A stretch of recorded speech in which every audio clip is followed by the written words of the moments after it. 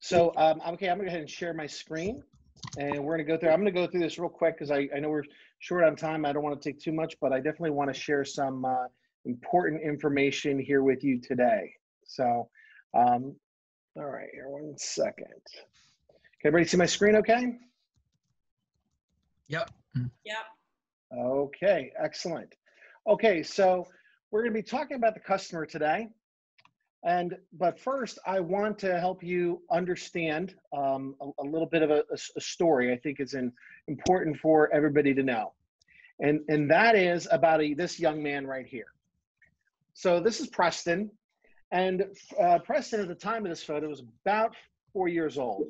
And every day when I took Preston to daycare, I'd load him up in the car, and he'd always fight with me. You know, oh, I really don't want to go, or you know, he complained, but I could always find I could cajole him in the right direction if I promised to take him for breakfast on the way.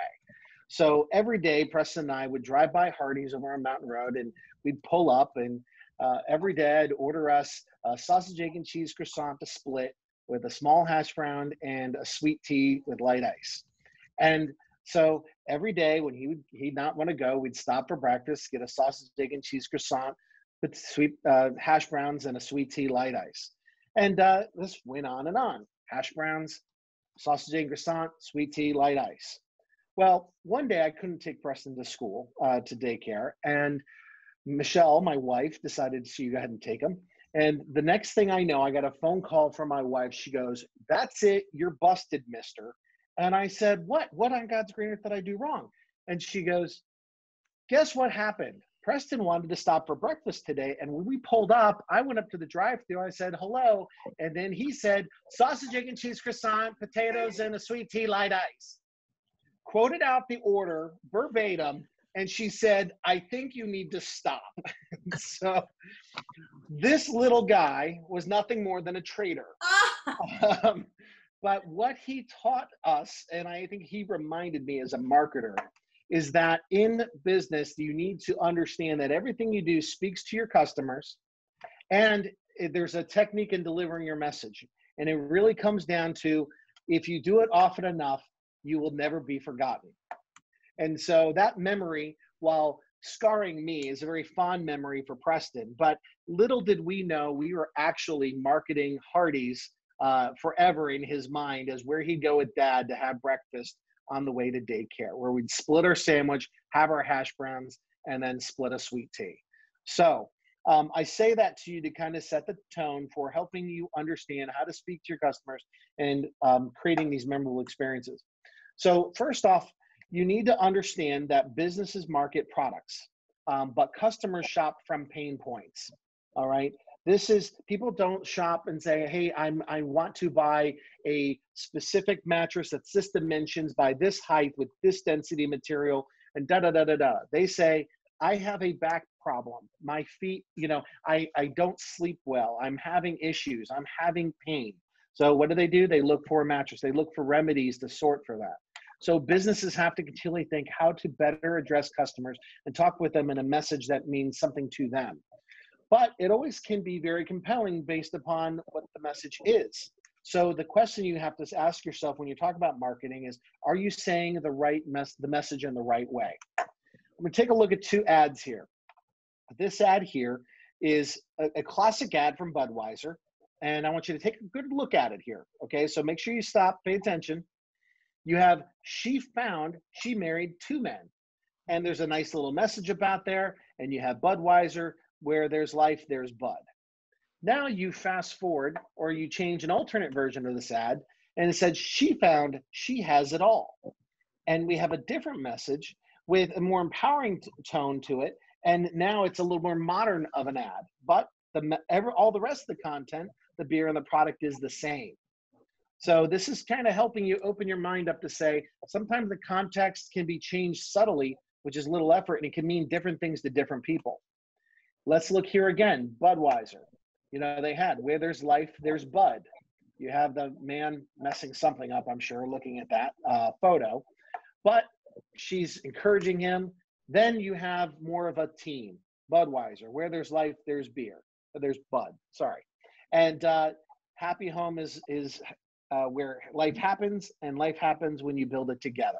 See, two people with Budweiser doing something, you still see a hammer in both of the photos, but it's just a different way in a different context. So when you think about your marketing, you have to think about who am I addressing? What's the demographic I'm reaching? Who is going to read this? And am I connecting with them? And am I addressing their pain points? So um, with that, the key to success, as little Preston told us, is if you if you do anything memorable frequently and consistently, you'll have the greatest chance for it to be remembered. Now, let's talk about delivery of the message. And this is a fun little thing I like to help people understand. And then here's the formula to success of in marketing. And I've said this before. To begin with, frequency times consistency plus a plan to the power of technology will equal success in marketing. All right. And and this is this is it. This is the formula for you to help get your message out there. Frequency, time, consistency, plus a plan to the power of technology equals success.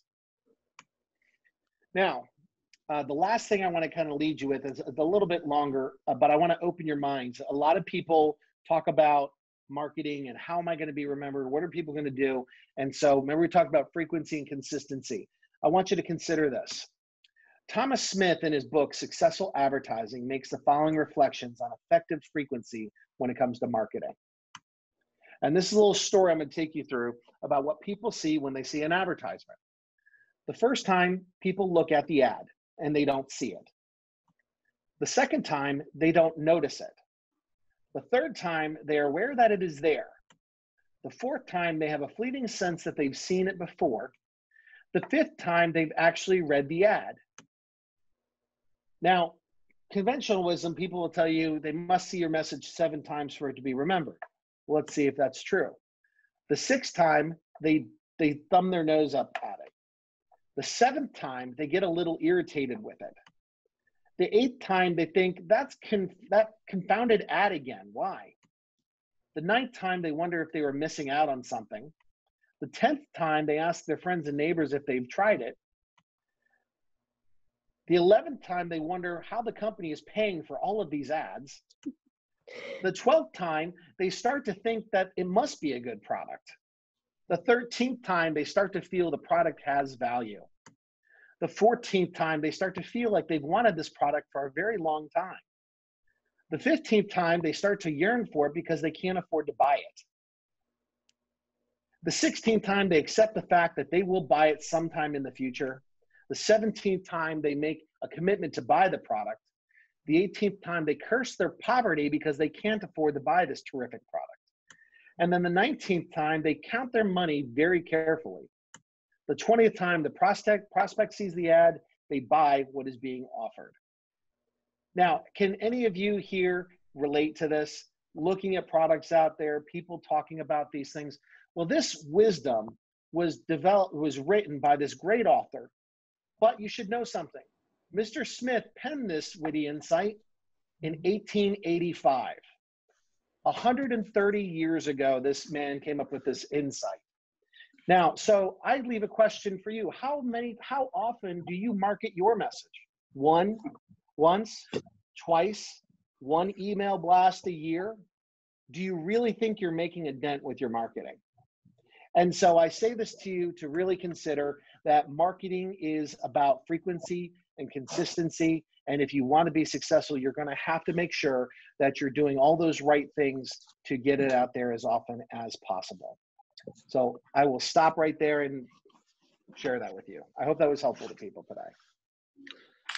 That was awesome, guys. How about that family food you? Did everybody have a good time? That was great. That was great. That was great. I'm keeping my mustache on all day. and I guess I I just want to say, it's not an announcement, but I just wanted to say that, just to tag, uh, to tag on to what Alex was saying. Uh, if any of you are new to networking, I don't see a lot of you who are, but uh, the same thing can be applied to networking. So there's a realtor that I used to I used to uh, write for, and she was in my BNI group. I think she said it best when she said, "You know, when I first met Kat, I said, oh, hmm, that's interesting. Don't know when I'll ever need that. And I ended up writing and doing some marketing for her through blogs and things like that.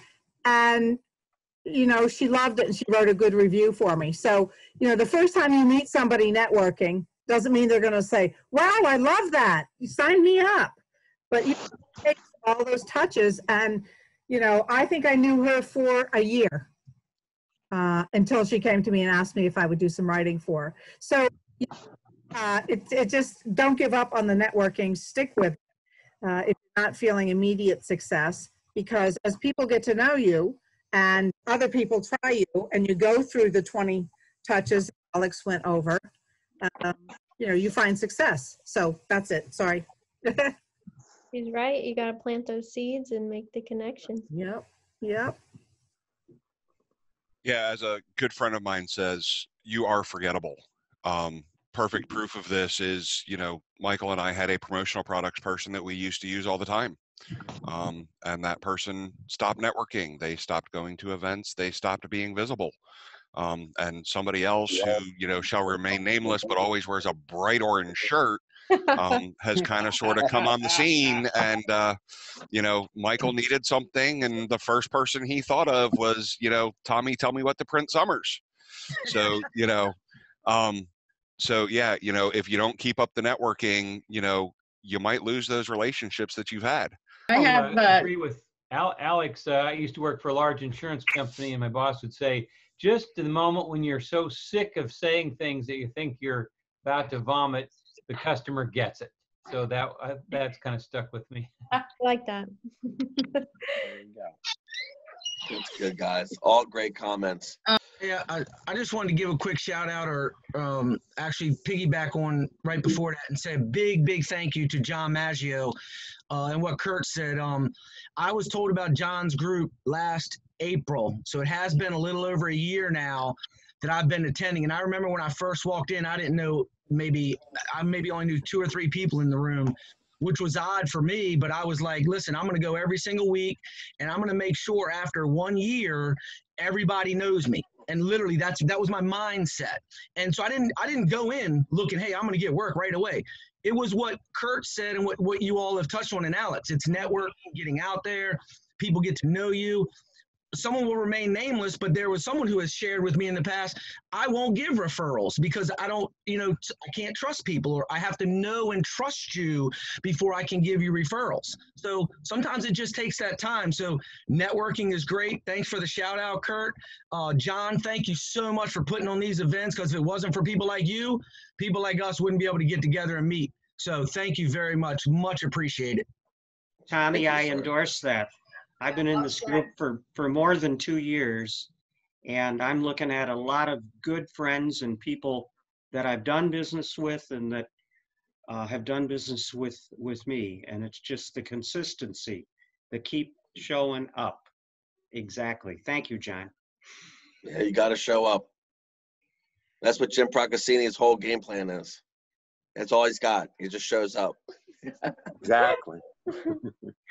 And you only have to show up five I- times. That's all. Just I- show up five times. No, you gotta really show up feel, though- 20 times. 20 That's times. a joke from earlier. It was a segue. Maybe too much time. I really feel like a, a salesperson for a whole bunch of different products for- by my networking friends, you know? I mean, there's nothing that I can't get for you, whatever you need, through one of you people. These I- guys, Can I make a couple quick announcements, please? yeah. Kurt, thanks for Link Annapolis making that earlier so us Annapolis Toastmasters can go right from Link Annapolis to Annapolis Toastmasters. That's really cool. If you didn't know, it's 102 uh, days till Halloween, and I have a project called Santa Tigers where I can put paint in your hand and show you how to become a tiger and show you and your little loved ones how to collect candy without uh, virus. And It's called Santa Tiger. Sandy Tigers. And I have a five gallon bucket of sanitizer. Guess where that came from? And I've got face paint. So there's a lot of good reasons. And I guess at Jill's September, what's your date of uh, your event, Jill Weisenbeck? September 20. I was I, I was asking Michelle if she could find a six foot paintbrush that she could do face painting at the fair. I don't know that I'll ever paint you all again, but I'll show you how to paint your own. Whatever you want to do is fine with me. This could be this could be your pivot, Michelle. So Yeah. You might never even you might never paint again, but you'll show us how to paint. So I wanted to remind everyone that next week I will um, teaching you, I will be teaching you how to be more productive using vestibular stimulation. Um, it'll be a fun, interactive movement workshop. Um, so make sure that you wear some soft pants. Uh, those are my favorite kind of pants, just for the record. Uh, wear some soft pants. Have your phone, your computer on in a space that you can possibly get down on the ground and move around a little bit. It'll be a little, a uh, little different. Um, and then after that, I'm doing a. You can spend the morning with Crooks. Uh, I will be doing a, uh small fee workshop for our um, sales with improvisational um, skills. So it'll be a fun what's the- time. What's the system called again? Vestibular system. Yeah, so you're gonna improve improve your uh, processes, improve your sales with the vestibular system. So no, no, no. It's it's you're improving your productivity with the vestibular. That's what it is. And Improving then, and then, if you want to spend the morning with Crux, learning with Crux, you can come to my um, workshop that will be after a little break, and we'll work on all of those fun improvisational sales skills. And actually, uh, Kurt's son, Cameron, is slated to be a special assistant. Kurt, uh, Kurt's son, Cameron, has been taking a lot of classes um, on improv, so he's going to be my knowledgeable helper. Uh, so you know, you never know what these connections are gonna are gonna make for you, and um, I'm just enjoying networking in Annapolis. Thank you so much, John, for all you do. So if you want to know what the vestibular system is, you better tune in. And we're not going to spell it for you. We're not spelling it for you either. V E S T I B U. Laura, what are you doing? You're you're letting that. I mean, I The was secret sauce. the secret sauce. The I'm you can spell. They can spell it out. Um, I think so after I'm this- gonna link the both the events. I'm going to link the uh, improvisational sales one and the vestibular stimulation. Um, So do we need to wear a vest or just the soft pants? um, Should we wear a vest for the vestibular or just the yes, pants? you can. Okay, You can.